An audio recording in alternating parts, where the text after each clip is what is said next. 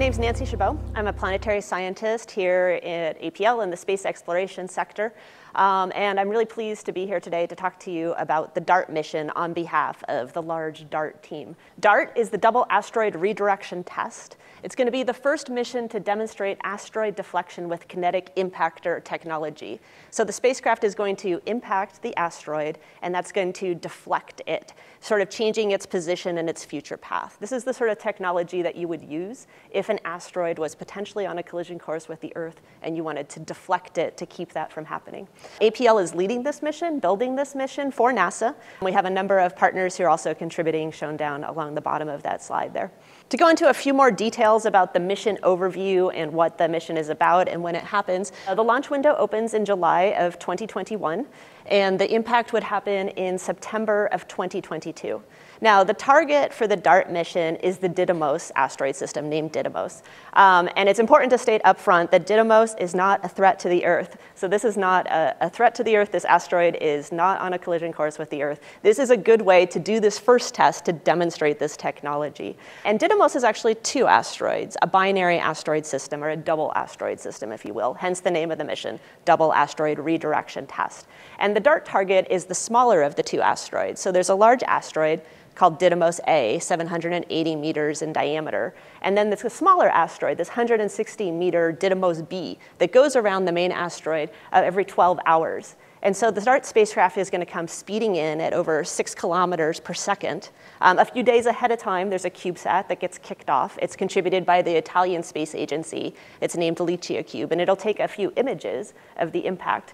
Um, but the DART spacecraft will impact Didymos B, and it will deflect it. It will change its path around the larger asteroid. So this is a very safe and effective way to do this first test of deflecting, changing the path of an asteroid. But the critical measurements are not going to be made by the spacecraft itself. It's actually going to be made from Earth-based telescopes. And so the Earth-based telescopes are going to be able to see how much we've changed its path. Currently, it's going at about 12 hours. It goes around the main asteroid. We think we're going to change this path by about 10 minutes, but figuring out that exact number is what the DART mission is going to do.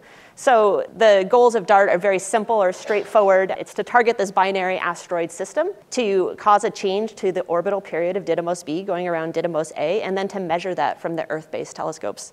But at this point, I kind of like to take a step back and address the question about do we really need something like DART? And to start that discussion, I like to show this little video.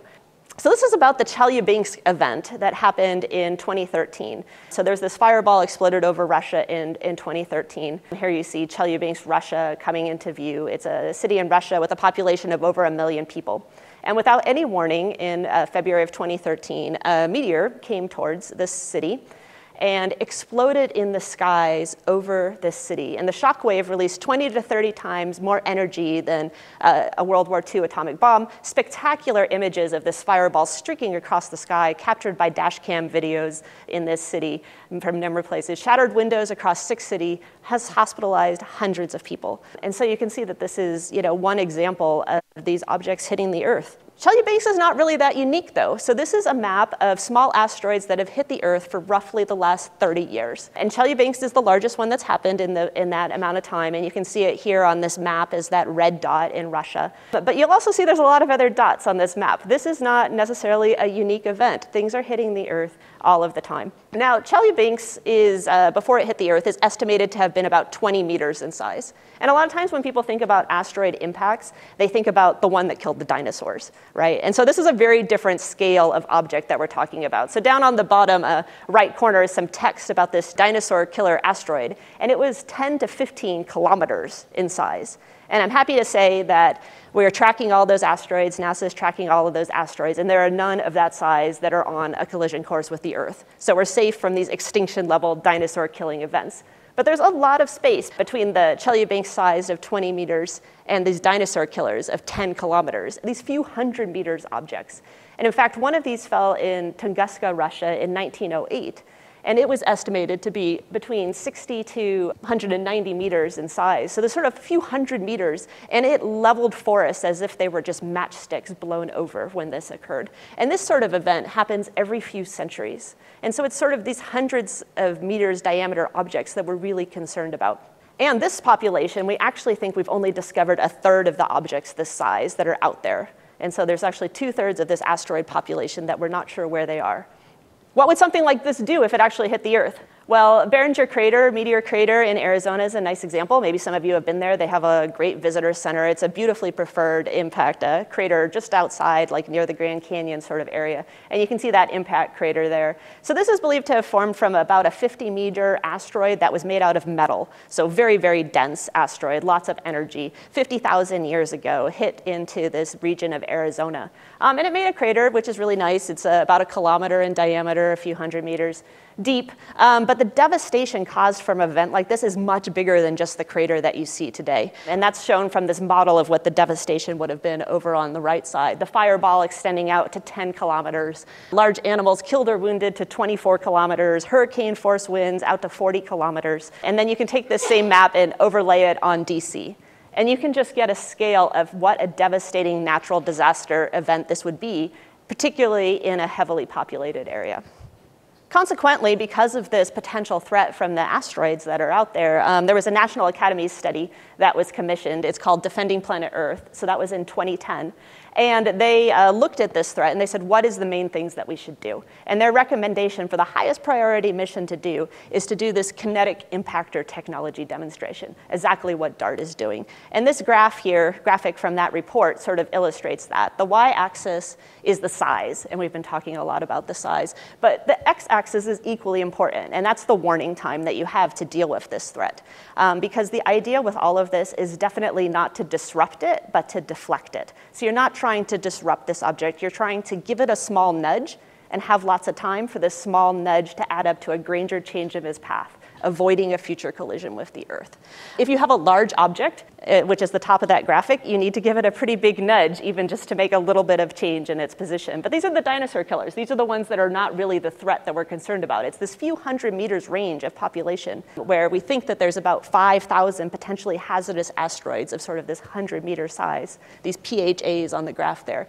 And that's where kinetic impactor technology was judged to be the most mature in technology that you might want to do if one of these things was on a collision course with the Earth. And DART, you can see, is very well um, situated on this graph, sort of shown as that dotted blue line going across there. This 160 meter object that we're targeting is right where you want to test this kinetic impactor technology.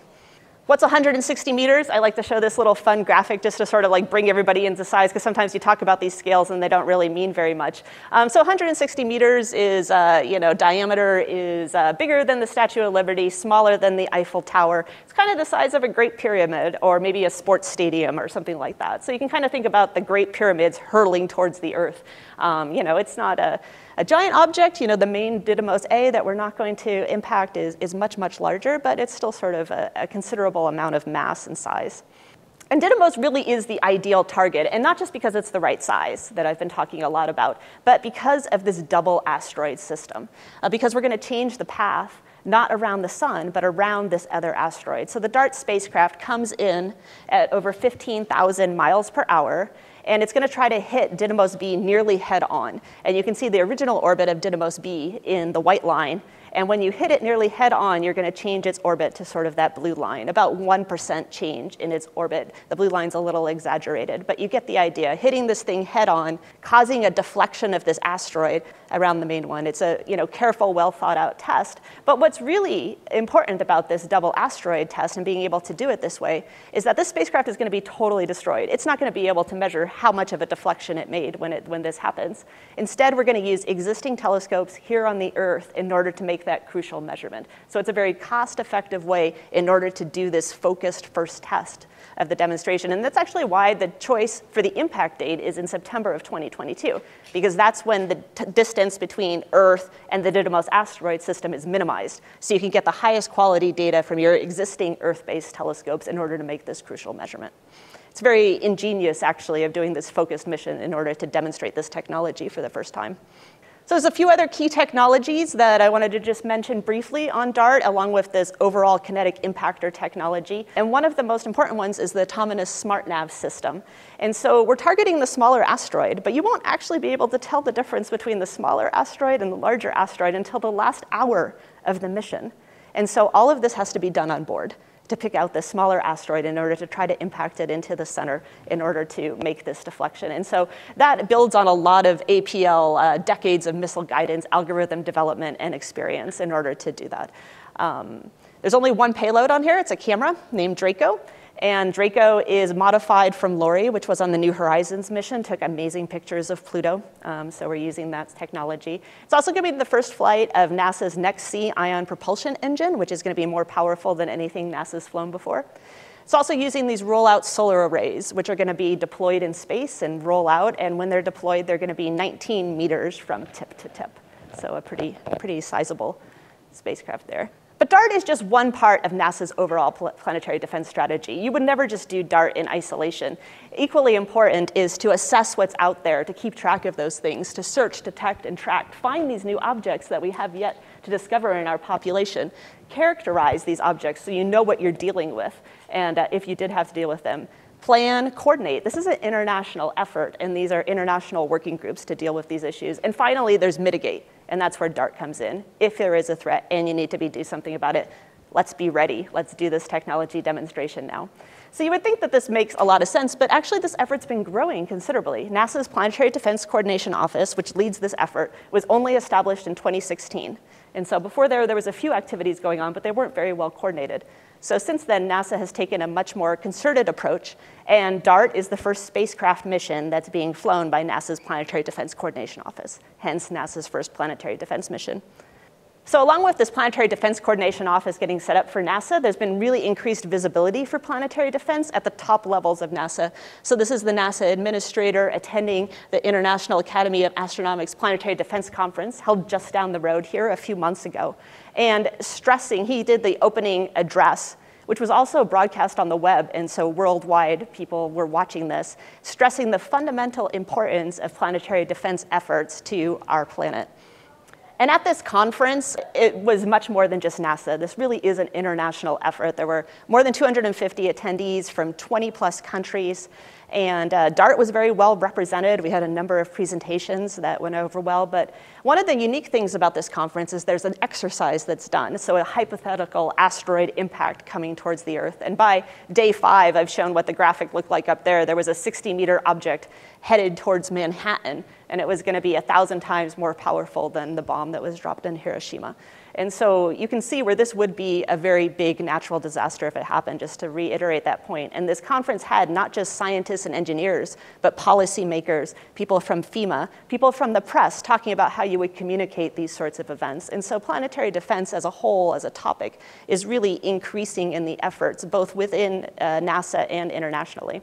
So DART is an important demonstration of this kinetic impactor deflection technology, but it's also sort of pioneering the way for these future planetary defense efforts in a field that's really growing right now. I know I feel privileged to be part of the DART team that's working on this to make the first planetary defense mission a reality. Thank you.